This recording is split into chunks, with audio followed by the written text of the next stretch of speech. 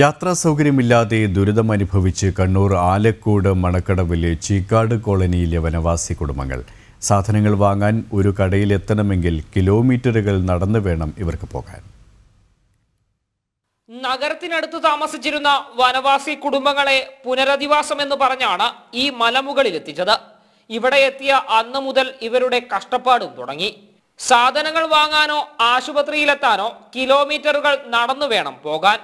Road സൗകര്യമില്ലാത്തത് കൊണ്ട് തന്നെ ഇവർ ഏറെ കഷ്ടപ്പെടുന്നുണ്ട്.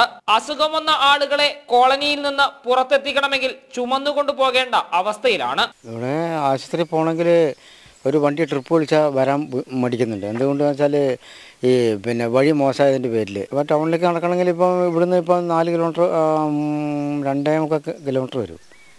അപ്പോൾ ഇത്രയും ദൂരം നടന്നു പോയി വരുമ്പോഴത്തേക്ക് ഒരു ദിവസം പോകും രാവിലെ മൂരിക്കടവ് പോകണം രാവിലെ ഏഴേകാലാകുമ്പോൾ ഇവിടുന്ന് ഇറങ്ങണം.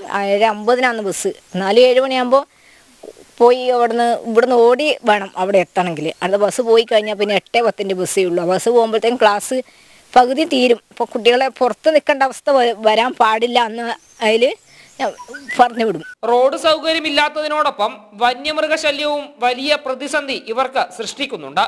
കാട്ടാന ശല്യവും പന്നിശല്യവും ഉള്ളതുകൊണ്ട് കൃഷി ചെയ്യാൻ പോലും ഇവർക്ക് സാധിക്കുന്നില്ല. കാട്ടാനയെ പ്രതിരോധിക്കാൻ സോളാർ വേലി ഉണ്ടെങ്കിലും അത് പരിഹാരമാകുന്നില്ലെന്നും കോളനിയിലെ താമസക്കാർ പറയുന്നു. ജനം കണ്ണൂർ